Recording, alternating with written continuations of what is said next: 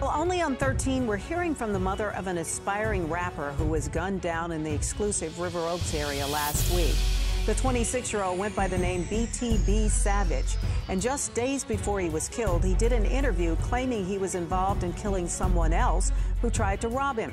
Now his mother thinks that may have led to her son's death. ABC 13's Brooke Taylor is joining us live from downtown with the story. Brooke? Mel, that uh, rapper who's known as BTB Savage was posting on his social media. He was doing interviews about that deadly robbery just a few months ago. His mother tells me, well, he was just defending himself and didn't deserve to die. She says she tried to beg her son stop posting and stop doing interviews talking about this. Gunned down near River Oaks behind the wheel of a car riddled with bullets. The mom of a 26 year old rapper known as BTB Savage tells ABC 13 that was her son. Renita Ward says her son's online persona isn't how she knew him.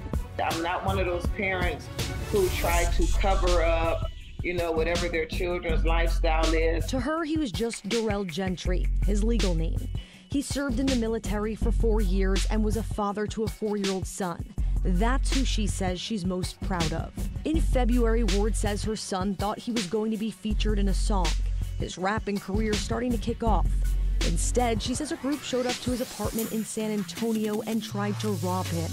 Earlier this week, the rapper did an interview with Vlad TV describing how he fought off the would be robber, instructed his girlfriend to shoot him, and then left him to die.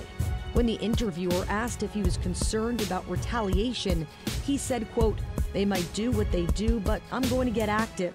That's all that is. On Thursday, he posted on social media standing in the middle of a bloody crime scene.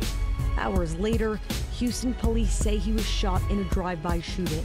I said, take that off of social media. I said, let this family mourn in peace. Um, but they were continuing, was taunting my son.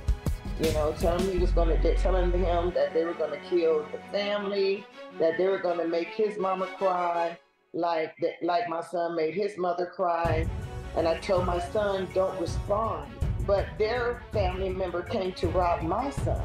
Now she's forced to mourn the loss of her son, who she tried desperately to keep out of danger. So the moral of this story to me is that two mothers lost two amazing sons and that their children will be raised without fathers.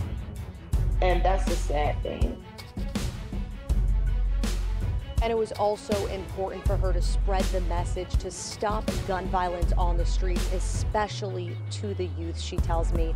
I also did reach out to San Antonio police to get more information about that alleged robbery incident back in February. We are still waiting to hear back, but of course, we'll keep you updated as soon as we find that out. For now, though, we are reporting live outside of Houston Police. I'm Brooke Taylor, ABC 13 Eyewitness News.